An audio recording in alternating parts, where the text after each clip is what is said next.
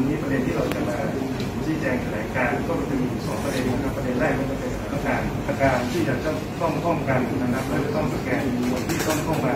ในพื้นที่จังหวัดเชียงใหม่นะครับพี่น้องประชาชนชาวจังหวัดเชียงใหม่ผมนายแพทย์ชันชัยสมาธิรองผู้จัดการฝ่ายการแพทย์รายงานสถานการณ์ในจังหวัดเชียงใหม่เนี่ยใน 24 ชั่วโมงที่ผ่านมา อ๋อ9เนี่ยสี่รายนะครับ เพราะฉะนั้นเรามีผู้ป่วยรวมทั้งหมดและผู้ป่วยเชื้อหมด 19 ราย ในโรงพยาบาล18รายนะครับเห็นว่าเรามีผู้ป่วยที่เป็นเฝ้าระวังอยู่ในโรงพยาบาลขณะนี้สี่รายนะนี่เป็นสถานการณ์ของในจังหวัดเชียงใหม่ใน 24 ชั่วโมงที่ผ่านมา